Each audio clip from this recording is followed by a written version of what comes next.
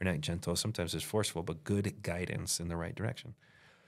Okay, so speaking of the mentorship type of deal, um, I actually would go as far to say because I've had many mentors through my career, um, being a creative, uh, doing photos, doing videos, all that, all the time.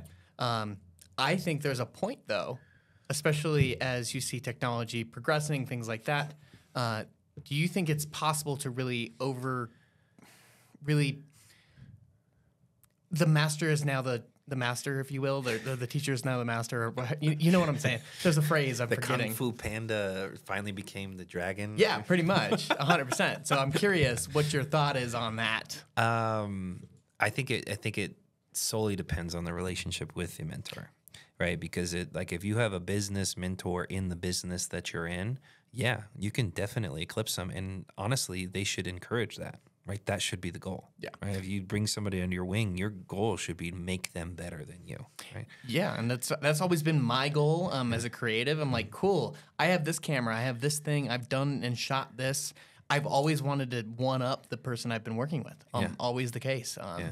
Sometimes it's ended poorly, and then other times it's ended quite well, and I'm still friends with them. But Yeah.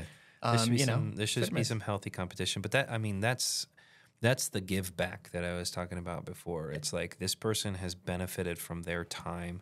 Um, they should be doing this out of out of like a they believe in you and b they want to continue that legacy into the world and if they've turned you into a better version of themselves like them but better you know 2.0 they did they did it that should be an accomplishment for both the mentor and the mentee absolutely but when i say the relationship is the important part it's because there's a lot of people in my life who give me great guidance but they have zero direct correlation to what i do right like they're not building roofs for a living. They're not doing uh, exterior construction. So, I mean, what do you base that off of? Is maybe your success level, maybe the value of your bank account? I don't know, but that seems pretty fickle, right? So, but I think I think that I think that absolutely you should be on a quest to surpass your mentor, and they should want you to get there. Excellent. I like uh, using the phrase quest Yeah. at any point in time. That's always a, a me thing.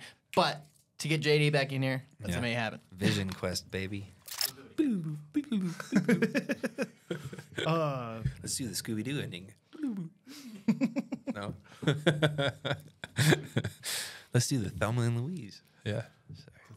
Wayne's World references here. Uh, We're going back to the early 90s, bud. going back to movies, I don't know. Um, I've seen Wayne's World. I just don't remember it. Um, that was Lachlan, by the way. Um, he is our uh, resident videographer and then also producer role. So we wanted he wanted to jump in here, so we brought him in. He is Um, much more creative than I will ever be.